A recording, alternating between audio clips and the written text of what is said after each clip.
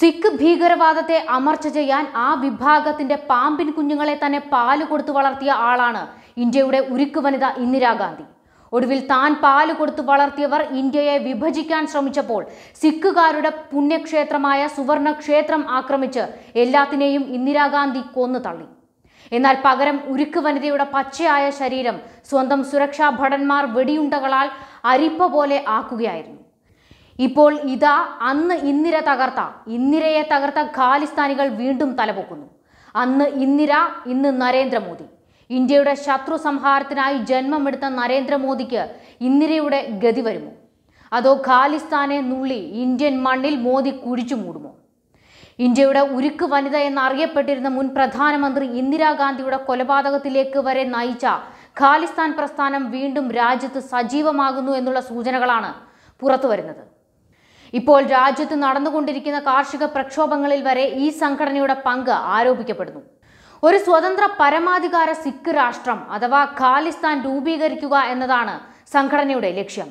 സനാതന സിഖ് മൂല്യങ്ങളിൽ അടിയുറച്ചു നിൽക്കുന്ന ഒരു സമ്പ്രദായം പ്രചരിപ്പിക്കുകയും അത് നിത്യജീവിതത്തിന്റെ ഭാഗമാക്കി ഒരു പ്രത്യേക രാഷ്ട്രം സ്ഥാപിക്കാനുമുള്ള യജ്ഞവുമായാണ് ഖാലിസ്ഥാൻ പ്രസ്ഥാനം ആയിരത്തി തൊള്ളായിരത്തി എൺപതുകളിലും തൊണ്ണൂറുകളിലുമാണ് പഞ്ചാബിൽ വൻ സ്വാധീനമായി വളർന്നത്. നേരത്തെ ഖാലിസ്ഥാൻ പ്രസ്ഥാനത്തിന് യുവാക്കളുടെയും വിദ്യാർത്ഥികളുടെയും നിർലോഭമായ പിന്തുണയും ലഭിച്ചിരുന്നു. എന്നാൽ സർക്കാരിന്റെ നേതൃത്വത്തിൽ കടുത്ത അടിച്ചമർത്തലാണ് ഖാലിസ്ഥാൻ പ്രവർത്തകർക്ക് നേരെ നേരെയുണ്ടായത് ഇപ്പോൾ ഖാലിസ്ഥാൻ പ്രസ്ഥാനം പൂർണമായും തുടച്ചു നീക്കപ്പെട്ടിട്ടുണ്ടെന്നാണ് ഔദ്യോഗികമായ വിശദീകരണം. ബബർ ഖൽസ ഇന്റർനാഷണൽ ഖാലിസ്ഥാൻ സിന്ദാബാദ് ഫോഴ്സ് എന്നിവയും ഖാലിസ്ഥാൻ അനുകൂല സംഘടനകളാണ്.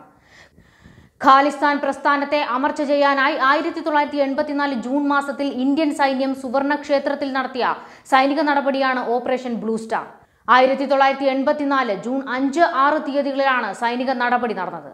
സൈനിക നടപടിയിലും സുവർണ ക്ഷേത്രത്തിൽ താവളമടിച്ച പ്രക്ഷോഭകാരികളുടെ പ്രത്യാക്രമണത്തിലും പെട്ട് ക്ഷേത്രത്തിൽ തീർത്ഥാടകരായി എത്തിയ സ്ത്രീകളും കുട്ടികളും ഉൾപ്പെടെയുള്ള നൂറുകണക്കിന് ആളുകൾ കൊല്ലപ്പെട്ടിരുന്നു. സിഖ് പ്രക്ഷോഭകാരികളുടെ വാദങ്ങൾക്ക് അന്നത്തെ പ്രധാനമന്ത്രി ഇന്ദിരാഗാന്ധി ആദ്യം ചെവി കൊടുത്തിരുന്നെങ്കിലും പിന്നീട് സ്വതന്ത്ര രാജ്യം വേണമെന്ന് ആവശ്യപ്പെട്ട് പ്രക്ഷോഭം തുടങ്ങിയതാണ് സർക്കാരിന് അവരുമായി ഇടയേണ്ടി വന്നത്. ചണ്ഡീഗഡ് പഞ്ചാബിലേക്ക് ചേർക്കുക.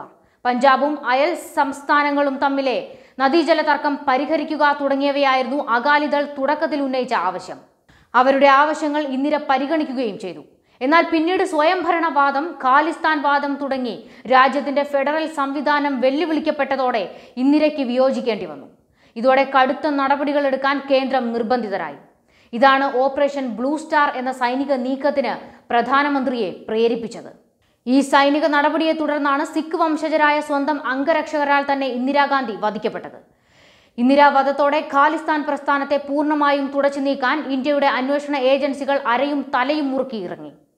അങ്ങനെ ഖാലിസ്ഥാൻ വാദം കെട്ടടങ്ങി. എന്നാൽ ഇപ്പോൾ പുറത്തു വരുന്ന വാർത്തകൾ പ്രകാരം പാകിസ്ഥാനും ചൈനയുമായി ചേർന്ന് ഖാലിസ്ഥാൻ തീവ്രവാദികൾ ഇന്ത്യ വിരുദ്ധ പ്രവർത്തനങ്ങൾ നടത്തുന്നു എന്നാണ്. അതേസമയം സിഖുകാരെ മുൻപിൽ നിർത്തിക്കൊണ്ട് ഖാലിസ്ഥാൻ പ്രസ്ഥാനത്തിന് പിറകിൽ പ്രവർത്തിക്കുന്നത് പാകിസ്ഥാന്റെ കൈകളാണെന്ന് പ്രമുഖ കനേഡിയൻ ചിന്തകരുടെ സംഘടന വെളിപ്പെടുത്തിയിരുന്നു. ഒട്ടാവ ആസ്ഥാനമായി പ്രവർത്തിക്കുന്ന മക്ഡൊണാൾഡ് ലോറിയർ ഇൻസ്റ്റിറ്റ്യൂഷനാണ് ഇതേ സംബന്ധിച്ച റിപ്പോർട്ടുകൾ പുറത്തുവിട്ടിട്ടുള്ളത്. മുതിർന്ന മാധ്യമപ്രവർത്തകൻ ടെറി മിലസ്കോവിയാണ് ഖാലിസ്ഥാൻ ഒരു പാകിസ്ഥാൻ പദ്ധതി എന്ന തലക്കെട്ടോടെ ആരംഭിക്കുന്ന റിപ്പോർട്ടിന് പിന്നിൽ. ഖാലിസ്ഥാൻ എന്ന ബസിന്റെ ഡ്രൈവിംഗ് സീറ്റിൽ ഇരിക്കുന്നത് പാകിസ്ഥാനാണെന്ന് അദ്ദേഹം റിപ്പോർട്ടിൽ വ്യക്തമാക്കിയിട്ടുണ്ട്.